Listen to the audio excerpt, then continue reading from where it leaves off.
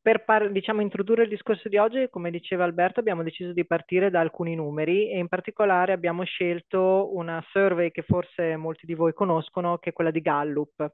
che è un ente diciamo, che si occupa di misurare tutta una serie di indicatori legati alle tematiche people a livello globale. E ci siamo focalizzati un po' su quello che sono i numeri relativi eh, al tema dell'engagement, che è fondamentalmente quello che si cerca fa- di fare no? quando si, si parla di marketing applicato certamente al mondo consumer, ma anche a quello delle persone. Eh, per capire un pochino meglio i dati abbiamo messo insieme eh, un riepilogo di quelle che sono le domande, nella slide che adesso vedremo, di quelle che sono le domande che Gallup eh, fondamentalmente fa e che eh, investiga eh, tre aree principali, che sono quelle diciamo del quanto è significativo il mio lavoro, proprio meaningful, quanto è significativo il mio lavoro e quanti strumenti ho per poterlo fare e a questo rispondono per esempio domande come la 2, no? i materiali e le attrezzature necessarie per svolgere il mio lavoro, piuttosto che mi viene data l'opportunità di fare effettivamente ciò che fa, mm, che mi viene meglio, che faccio meglio. Un'altra area investigata è quella, diciamo, tutto del riconoscimento sia dei miei risultati che di me come persona, no? Quindi la 4, per esempio, negli ultimi sette giorni ho ricevuto riconoscimenti e lodi per aver fatto un buon lavoro, piuttosto che la 7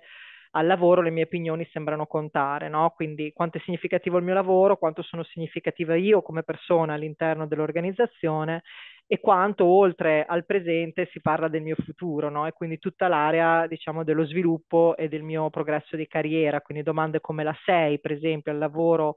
eh, ho qualcuno che incoraggia il mio sviluppo piuttosto che la 11 eh, ho parlato, eh, qualcuno ha parlato con me del mio progresso, del mio step prossimo di carriera. Eh, investigando queste aree vediamo poi una super sintesi dei risultati nella slide successiva eh, che fondamentalmente ci dicono eh, qualcosa che a livello empirico già molti di noi sanno e vivono nelle aziende, cioè che le persone e in particolare quelle disingaggiate, stiamo guardando qui, ma in generale le persone hanno molto chiaro che cosa rende un posto di lavoro migliore rispetto a quello che trovano oggi.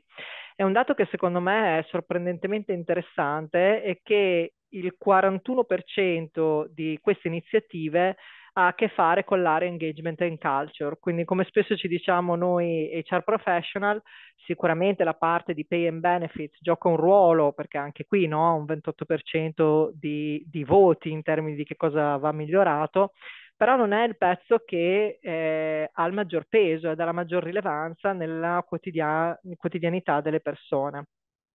Un dato ancora più eh, interessante eh, secondo me è che mediamente attraverso tutte le categorie delle persone che hanno risposto al questionario, quindi sia quelle disengaged che quelle mh, neutre, diciamo così per un secondo, che quelle molto engaged, un 51% delle persone è aperta a valutare altre opportunità fra quelle che sono semplicemente aperte e quelle che sono addirittura quelle che le stanno cercando attivamente un'altra opportunità. E questa media del 51% cala significativamente nel numero delle persone engaged, perché vedete scende al 43%, e aumenta significativamente nelle persone disengaged, perché sale al 61%. Quindi dal punto di vista in generale dell'employee engagement, quello che ci dice la più recente survey di, di, di Gallup è che c'è una grande disponibilità delle persone, molto più che in passato, poi vedremo anche alcuni numeri sull'Italia, ad ascoltare proposte che arrivano ad altre aziende e chiaramente come è intuitivo, ma qui lo vediamo tradotto in numeri, questa disponibilità ad ascoltare diminuisce sui lavoratori engaged ed aumenta invece su uh, quelli disengaged. Eh, andando un pochino più nel dettaglio nella slide successiva vediamo anche una distribuzione geografica di questo engagement index vediamo che com come diciamo molti di noi magari sanno perché hanno già lavorato in organizzazioni internazionali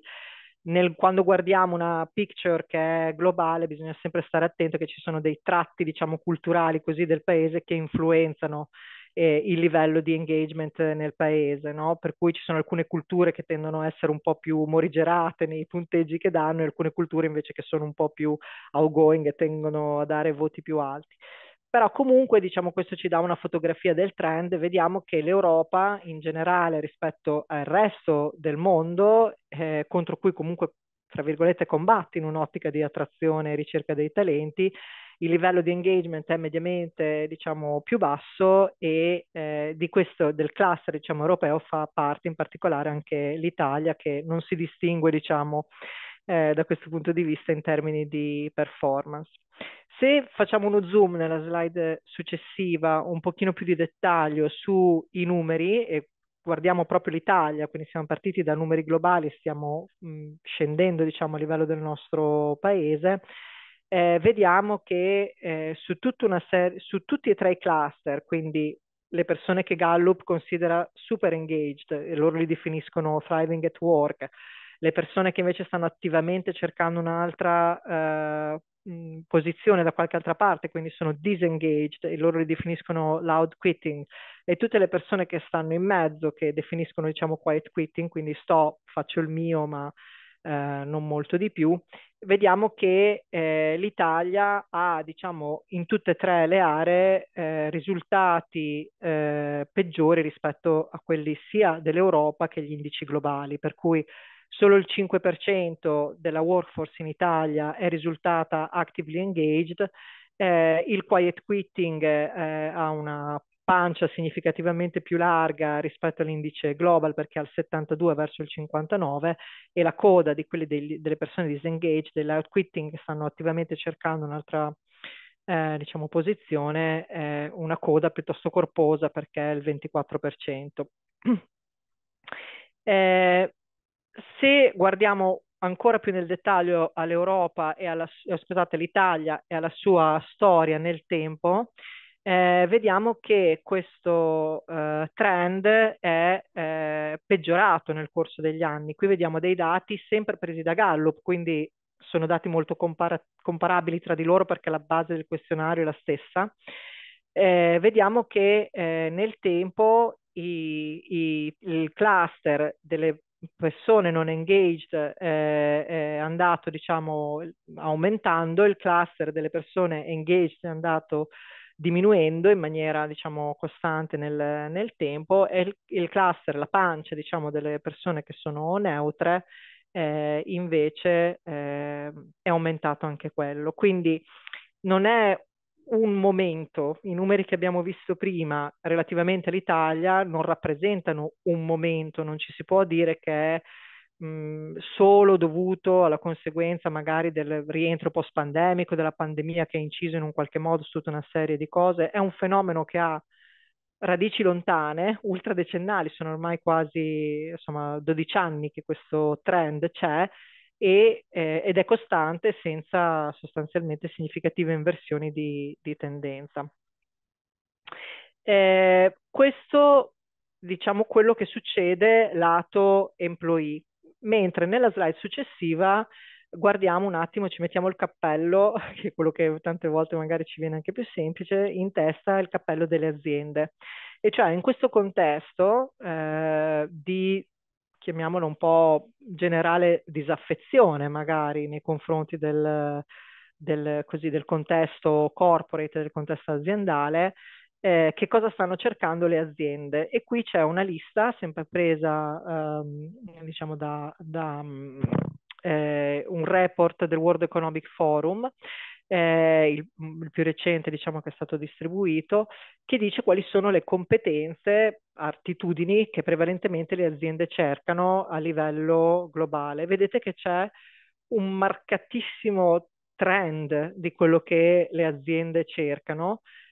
cercano, e questo significa questo, che sostanzialmente tutte le aziende appartenenti a settori diversi, a geografie diverse, sono tutte concentrate nel cercare le prime 5-6 competenze. Quindi da un lato tutte le aziende che hanno bisogno delle stesse skill, dall'altro un contesto in Italia, diciamo, di eh, disengagement rispetto al mondo corporate, quindi come, come risolvo questo puzzle dove ho assolutamente bisogno di cercare quando li trovo di trattenere le persone che hanno queste skill, ma di là mi trovo una popolazione di employee che non è, eh, diciamo, facilmente né attra- attraibile né eh, trattenibile. Eh, nella slide successiva vediamo sempre, diciamo, dalla, uh, dalla, dall'analisi di Gallup quali sono le strategie che le aziende stanno cercando di mettere in essere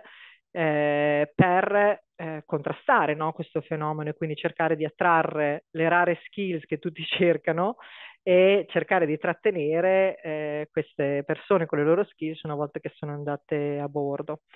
E ci sono tantissime iniziative che spaziano in tanti settori, no? che vanno da tutto l'ambito diciamo, della sfera della carriera e di qual è il processo diciamo, di carriera che offro all'interno dell'organizzazione, senza che questo necessariamente significhi carriera verticale, no? può avere tantissime declinazioni in diversi contesti organizzativi.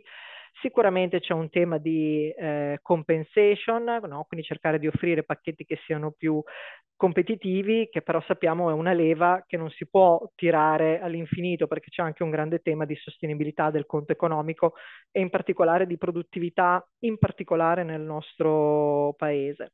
Sicuramente c'è un grande sforzo sia organizzativo che economico che le aziende fanno nel cercare di costruire internamente quelle skill che abbiamo visto prima, di non comprarle solo fuori sul mercato. Però se guardiamo un pochino più nel dettaglio, stando sempre diciamo nella colonna di sinistra, che sono le, le aree di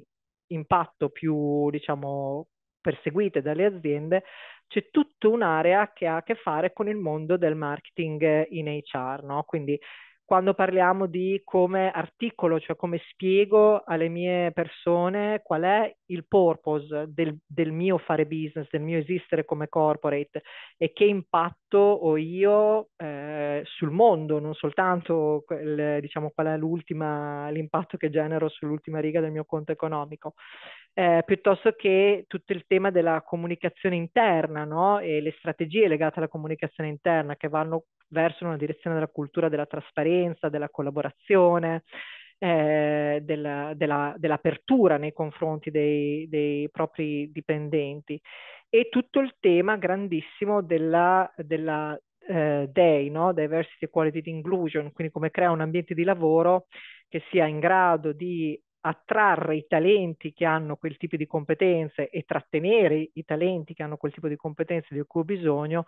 a prescindere dal fatto eh, che queste persone abbiano anche caratteristiche eh, di genere piuttosto che eh, di etnia, piuttosto che di religione, che devo creare un ambiente di lavoro che sia compatibile per, per, per tutti loro ed inclusivo e non esclusivo. No? sia perché, per tornare sulle parole di Alberto, è una cosa etica e giusta, ma anche perché non posso ridurre ulteriormente, se non lo volesse guardare solo in maniera opportunistica, ridurre ulteriormente la mia eh, disponibilità di talenti perché non sono in grado di attrarne alcuni eh, che magari eh, non si sentono inclusi o rappresentati nel mio contesto organizzativo.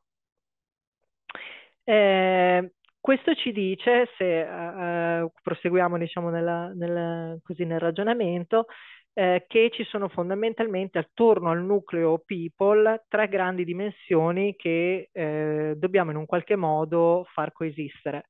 E tre grandi eh, tematiche, quindi quella della diversity inclusion di cui abbiamo appena parlato, quelle di new ways of working, eh, perché comunque ecco anche la modalità del webinar di oggi è una testimonianza, abbiamo tutti imparato a lavorare anche in un modo diverso eh, che ha un impatto sulle strutture organizzative e sulle skills di cui le persone hanno bisogno. Se avete notato prima, fra le prime top 5 ci sono tutte le skills legate, diciamo, alla digital agility, al digital mindset, no? Non soltanto per eh, eh, fenomeni giganteschi come l'artificial intelligence, ma anche per cose più semplici come quella che stiamo facendo noi oggi e tutto il tema del value e del purpose, e cioè eh, perché io sono qui proprio specificatamente in questa organizzazione e tu organizzazione, tu azienda, perché esisti e qual è il tuo contributo, diciamo, eh, al mondo al di là della tua linea di profitto che giustamente, legittimamente devi fare.